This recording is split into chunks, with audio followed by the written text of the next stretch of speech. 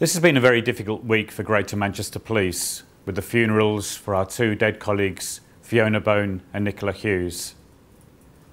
I want to thank the public, though, for the huge support they have given to the force over this period. We've had over 50,000 messages of support, many, many letters, many donations.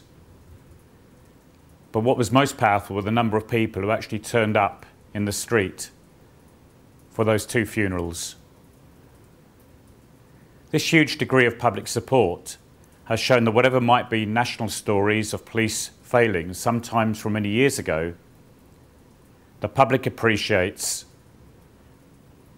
the day to day work of members of the police force going about their business, serving the public in the way that Fiona and Nicola were doing.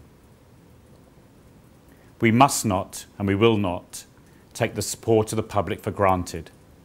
We have to earn it day to day in the way that we carry out our duties and the way that we interact with the public.